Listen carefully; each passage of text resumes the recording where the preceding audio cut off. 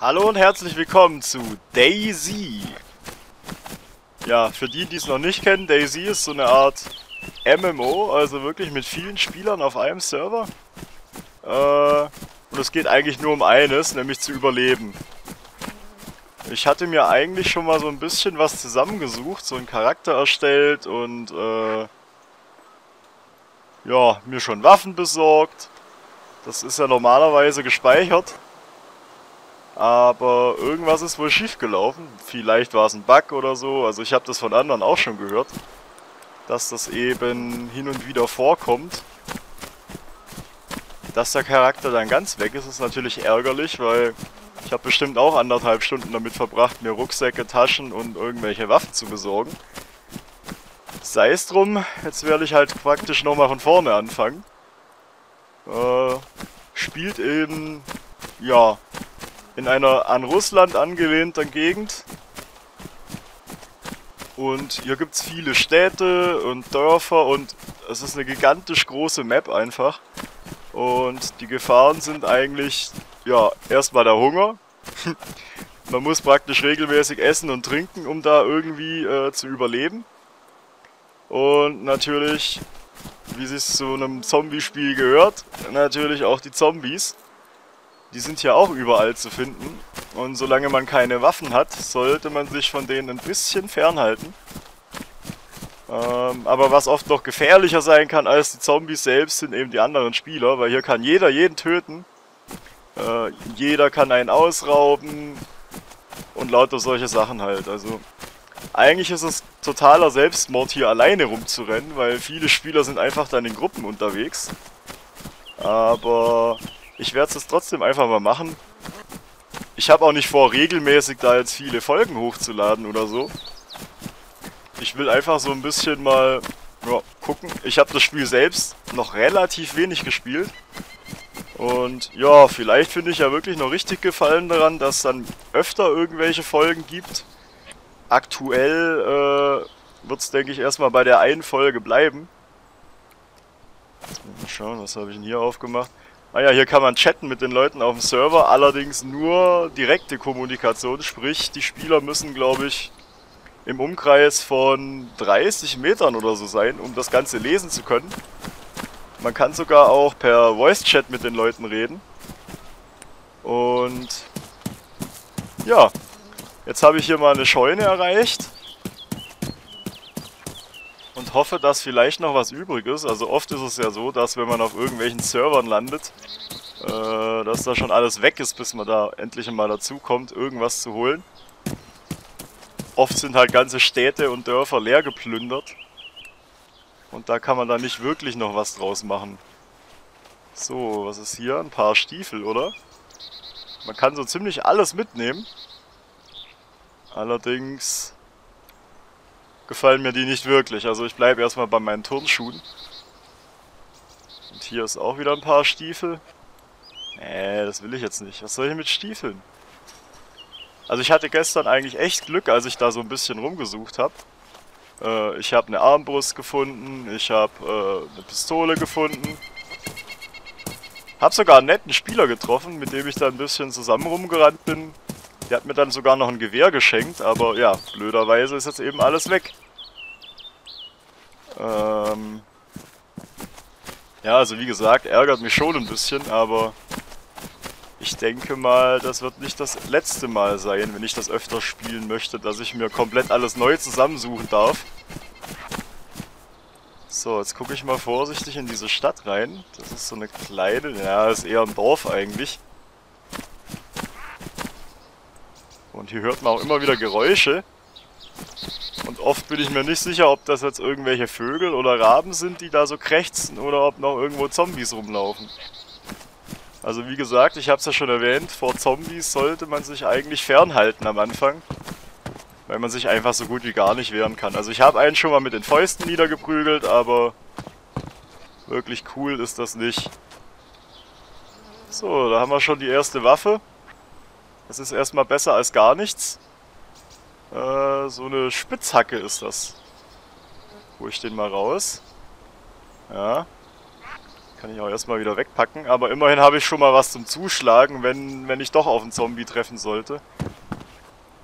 Gegen bewaffnete Spieler habe ich natürlich keine Chance, das ist klar.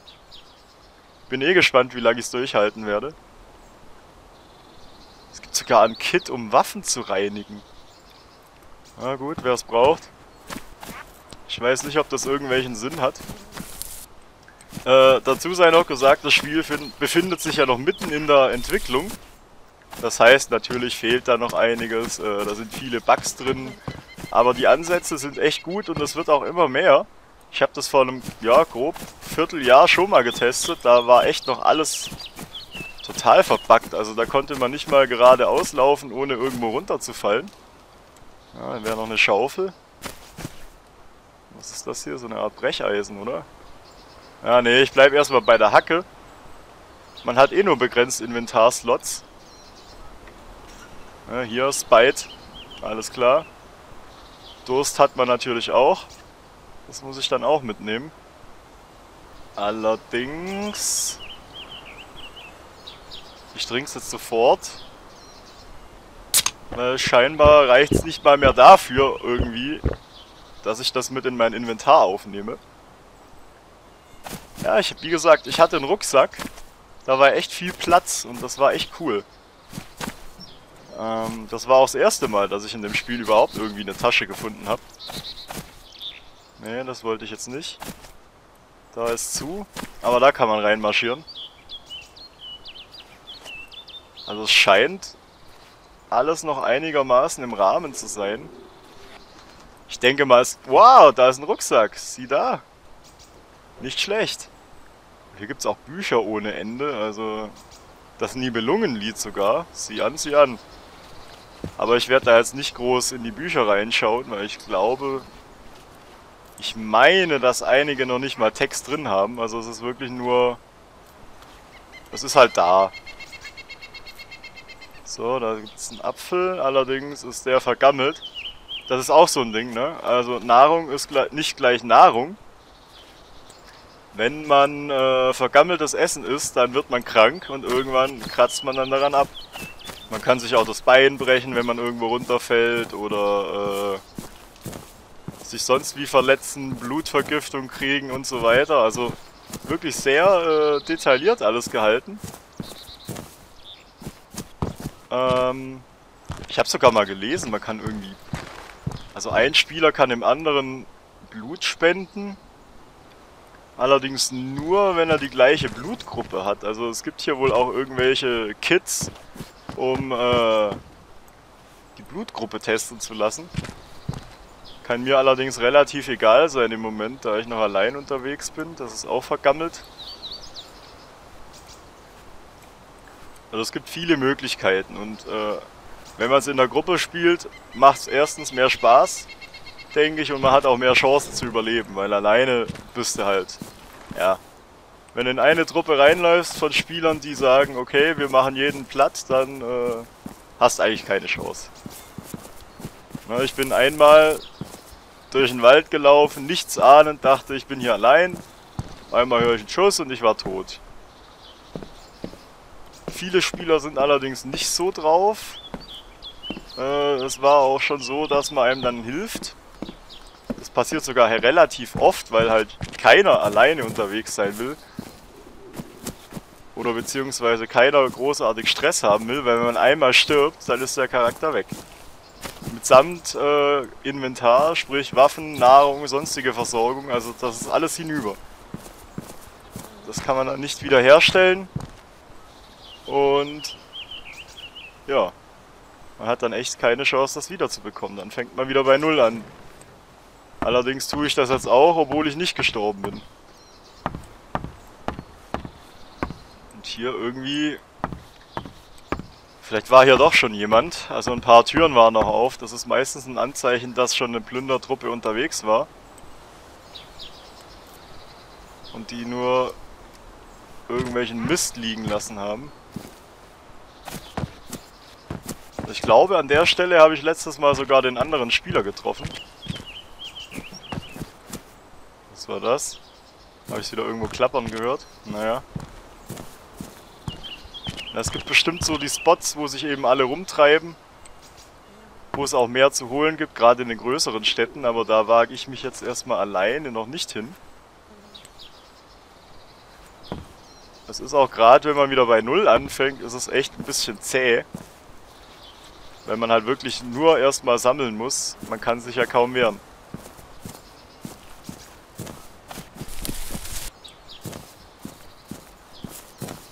So. Ja, ich habe irgendwie das Gefühl, hier war schon jemand. Ich war mir am Anfang nicht ganz sicher, aber es sieht fast danach aus.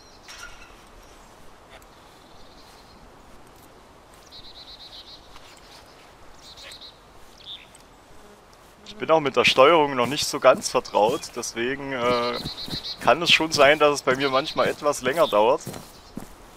Das ist dann halt auch die nächste Frage. Wollt ihr sehen, wie einer anfängt zu spielen, der überhaupt keinen Plan davon hat?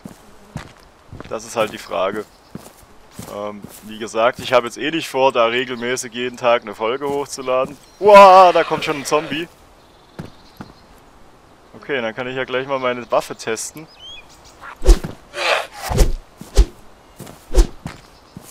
Ah, jetzt stirb. Okay, ich glaube, das hat schon... Ne, er steht wieder auf. Also es läuft auch noch alles sehr hölzern.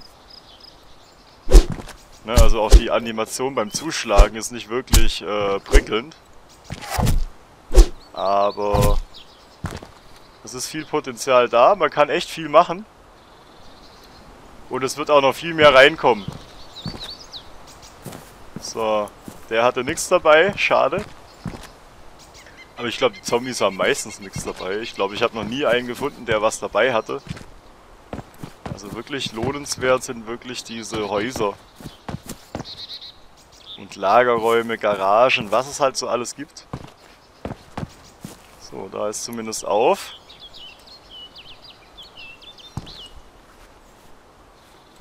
Da steht wieder ein paar Schuhe.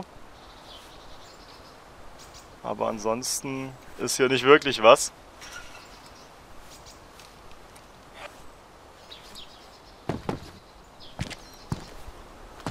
Also hier gibt es auch viele verschiedene Server, so wirklich wie man es von Steam eigentlich kennt. Gerade äh, Counter-Strike und so weiter. Kann jeder seinen eigenen Server haben. Was ist das hier? Sprayfarbe. Okay. Vielleicht brauche ich es irgendwann noch. Oder auch nicht. Eher nicht. Ich glaube, zum Überleben hilft mir die Farbe nicht wirklich weiter. Ja, es gibt wie gesagt viele verschiedene Server, die jeder so ein bisschen individuell einstellen kann, wenn er denn einen hat. Und ja, da kann man zum Beispiel dann einstellen, wie oft das Zeug nachspawnt, also die, die Beute, die Waffen, was halt alles so rumliegt. Die Server werden auch, das ist glaube ich fast gang und gäbe, im 2-Stunden-Takt werden die runtergefahren, damit eben alles wieder respawnt. Die, die Monster, die Zombies. Was ist das hier? Nur eine Hose. Ich dachte schon, da liegt irgendwo. Ne, das ist eine Jacke. Na, das gucke ich mal.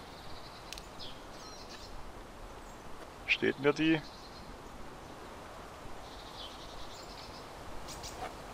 Wo ist das T-Shirt hier? Ach Gott, das sieht ja kacke aus. Nee, die will ich nicht haben. Ähm, wieder tauschen. Oh Gott, habe ich jetzt da wieder... Hm. Also die Jacke hat selber auch Taschen, sprich, äh, ist dann auch wieder eine kleine Inventarvergrößerung.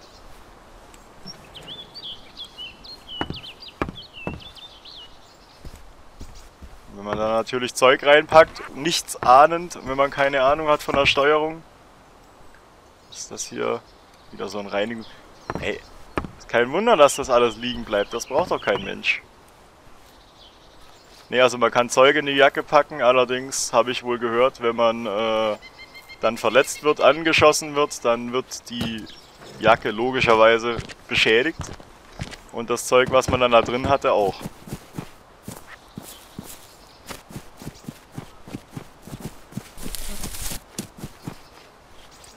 Es gab auch irgendwie eine Möglichkeit rauszuzoomen, also weg von der Ego-Perspektive. Hier ist ein Motorradhelm. Sieht zwar dämlich aus, aber ich setze ihn einfach mal auf. Und da ist ein kaputter Motorradhelm. Der war entweder schon kaputt, als der Server hochging, oder es hat jemand weggeschmissen, als er angeschossen wurde. Hm, jetzt muss ich aber gerade überlegen, wie konnte ich nochmal rauszoomen? Also hier gibt es endlos viele Tasten. Nee, das war's nicht. Hm. Wie ging das nochmal? Ich hatte es doch gestern.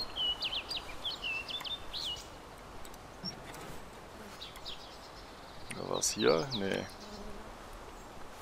Ich probiere jetzt einfach mal kurz alle Tasten durch. Sieht zwar dämlich aus jetzt, aber...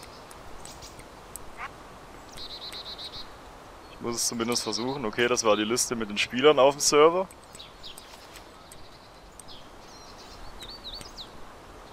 Hm, ich komme gerade nicht drauf. Das ist doch blöd jetzt. Oh toll, jetzt habe ich mich hingelegt. Das wollte ich eigentlich auch nicht. Direkte Kommunikation, nee. Ich kriech hier rum. So, jetzt stehe ich wieder, okay. Ja, man hat einfach einen besseren Überblick, wenn man rausgezoomt hat, aber irgendwie kriege ich das scheinbar gerade nicht auf die Reihe.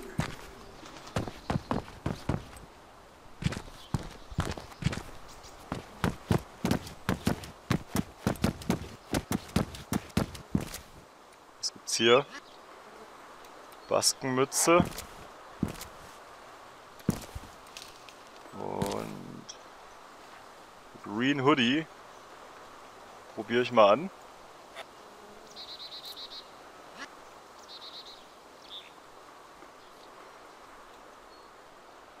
Naja, der ist ziemlich zerfetzt, also der ist auch kacke. Okay, wegschmeißen. Und ich habe immer noch Hunger. Also mein Charakter hat immer noch Hunger. Früher oder später, wenn ich gar nichts finde, fällt der einfach um und verhungert.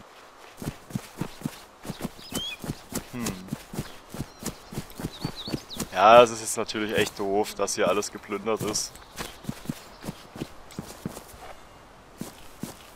Warte mal, hier ist die Tür zu. Vielleicht war hier noch keiner drin. Wobei, man kann die Tür genauso gut zumachen in der Hoffnung, dass einer wie ich kommt und denkt, es wäre noch was zu holen. Das ist auch klar. Und wirklich Fortschritt habe ich gerade keinen, das ist doof. Jetzt muss ich gerade nochmal schauen, ob ich da irgendwie bei der Steuerung Zuordnungen übersteigen, lehnen, View,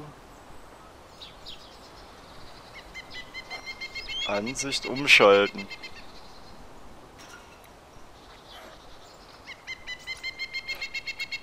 Gehen wir mal raus. Aber ich kann irgendwie nicht wirklich rauszoomen. Man kann hier so raus und wieder rein, aber dass mal aus der First-Person-Perspektive ein bisschen rauskommt. Irgendwie habe ich jetzt einen Punkt fixiert, das will ich eigentlich auch nicht. Scheiß, wie kriege ich das wieder weg?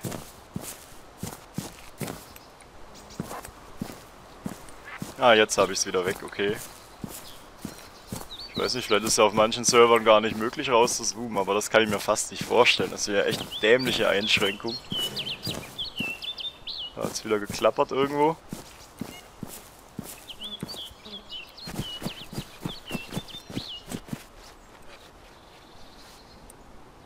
Ja, es ist halt wirklich als, als Noob, als Greenhorn bist du hier aufgeschmissen.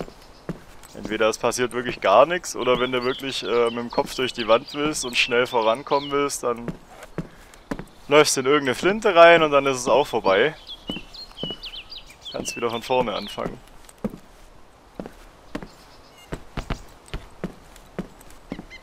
Ich werde mal schauen, dass ich das nächste Video, wenn es denn eins geben sollte, wirklich so mache, wie es ursprünglich geplant war, dass ich eben ähm, schon ein bisschen ausgerüstet bin und nicht hier einfach so drauf losrenne mit gar nichts. Das sieht aus wie so ein Bunker. Also hier gibt es echt viele Möglichkeiten zur Interaktion. Und da kommen wir wohl gar nicht rein. Nee.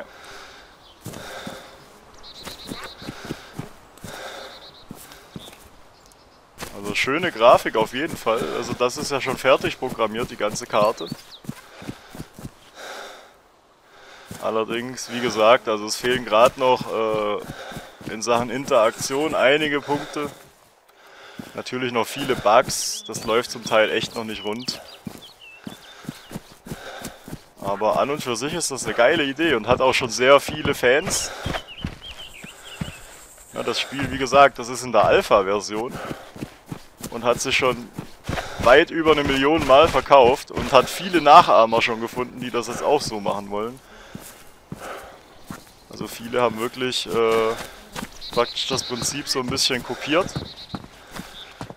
Weil die Idee ist eigentlich echt geil. Gerade in Zeiten von The Walking Dead passt das sehr gut rein. Und das scheinen viele Fans gefunden zu haben. Ich finde es an sich auch nicht schlecht, allerdings, wie gesagt, ist mir noch alles sehr neu. Und ich bin halt auch alleine. Und dann hat man wirklich solche äh, ja, langatmigen Stellen, wo man eigentlich nur durch die Wildnis rennt bis zum nächsten Dorf, bis zum nächsten Haus. Das war jetzt mal Glück, da ist was. So, jetzt muss ich mal schauen, ob ich hier vielleicht noch was über habe. Es sollen ja auch noch Fahrzeuge kommen.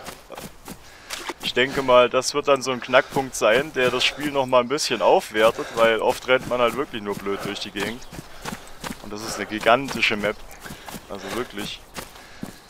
Ich glaube, da bist du stundenlang unterwegs, wenn man von einem Ende zum anderen rennt. So, was haben wir hier? Eine Kiwi. Dann hätte ich ja endlich mal was zum Essen.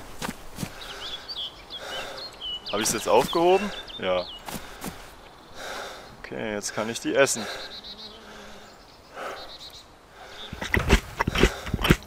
Oh, Mampf, Mampf. Okay, der Hunger ist erstmal gestillt, der Durst ist aber auch schon wieder da. Was war das jetzt gerade?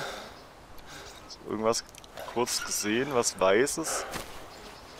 Irgendeine Schrift, also sprich eine Interaktion möglich wäre. Hm.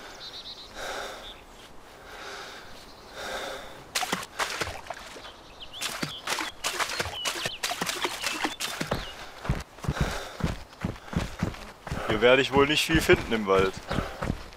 Außer hier sind mehrere Häuser. Weil ich glaube, in dem Teil vom Wald war ich jetzt noch nicht. Bin gestern, glaube ich, weiß ich nicht, fast eine halbe Stunde durch den Wald gelaufen. So groß war der.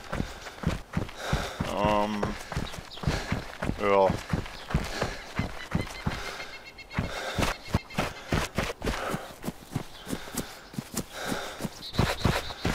einmal so eine kleine Konfrontation wäre schon cool. Ob mit einem Zombie oder mit einem Spieler, ist eigentlich egal. Damit man mal so ein bisschen ein Gefühl bekommt. Aber die meisten kennen das Spiel ja eh schon in- und auswendig. Von daher... Das, was ich vorhin erzählt habe, ist wirklich nur für die, die noch gar keine Ahnung haben, worum es hier geht.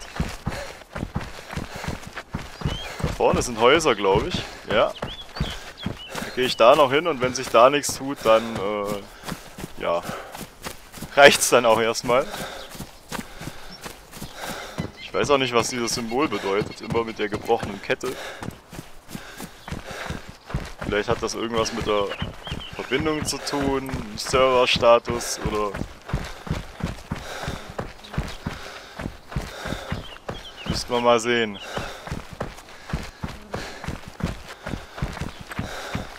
So, das ist wieder so eine kleine Ansammlung von Häusern. Aber da sind auch schon Türen auf, so wie ich das gerade gesehen habe. Ja, das war der falsche Knopf. Aber total falsch. Steh mal wieder auf, Junge. Ja, ich bleib hier auch überall hängen. So, was gibt's hier?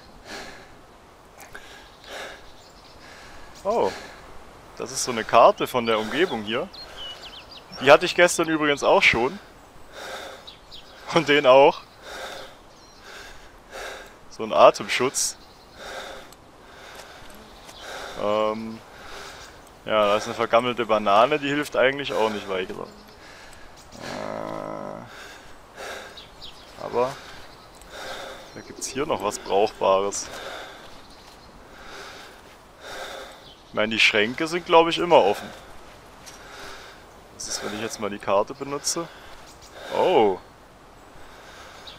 Das ist die Karte. Coole Sache. Die Frage ist nur, sieht man hier...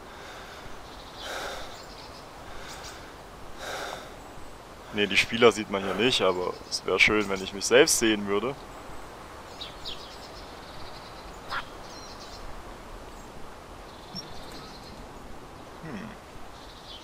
bin jetzt wahrscheinlich hier irgendwo in der Mitte. In einem von diesen vielen Waldgebieten. Kann ich jetzt aber momentan auch noch nichts mit anfangen.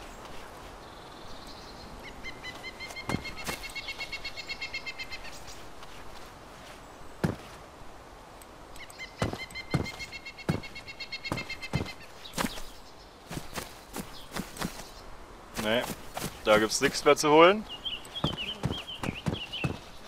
Ah, da war da noch mal was. Da vorne waren noch Häuser, genau.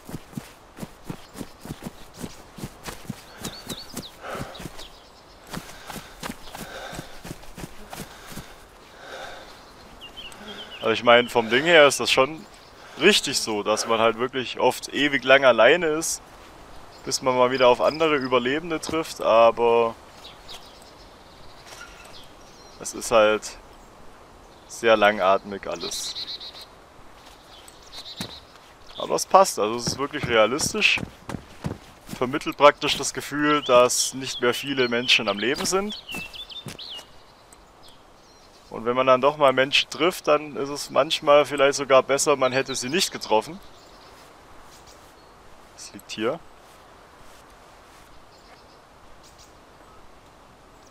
Aha. Okay, irgendeine Transfusion. Ich nehme es halt mal mit. Ich habe keine Ahnung, wofür ich das brauchen sollte, aber... Naja, gibt's nix. Also eine Waffe wäre halt mal schön. Eine richtige Waffe. Könnte ich mal so ein bisschen in der Luft rumballern, weil die Gelegenheit hatte ich gestern nicht. Ich habe immer noch keine Ahnung, wie das ist, wenn man eine Waffe hat. Also eine zu haben, das weiß ich schon, allerdings äh, wie die sich verhalten, also sprich äh, Rückstoß, äh, Zielen und so weiter. Ja toll, eine Säge. Damit kann ich auch nicht wirklich was anfangen. Handschuhe. Ja, ziehen wir halt mal an. Aber wirklich bringen tun die auch nichts.